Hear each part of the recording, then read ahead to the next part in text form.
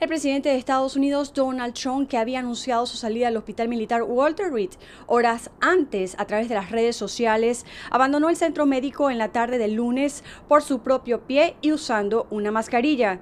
El equipo médico del presidente aseguró que está previsto el presidente continúe recibiendo tratamiento en la Casa Blanca. Al llegar a la residencia presidencial, el mandatario subió las escaleras principales y al llegar a la entrada se dio vuelta y ya sin mascarilla hizo algunos gestos para transmitir que se encontraba en buen estado.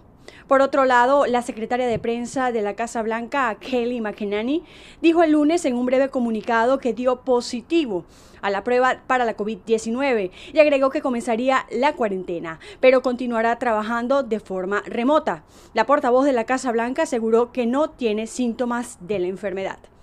En otras informaciones relacionadas con la campaña presidencial, el candidato presidencial demócrata Joe Biden dijo el lunes que está dispuesto a participar en el debate programado para la próxima semana con el presidente de Estados Unidos, Donald Trump, si los expertos en salud dicen que es seguro. Aún la fecha del debate permanece sin cambios para el 15 de octubre en Miami. Desde Washington con la agenda informativa les informó Sofía Pisani. Voz de América.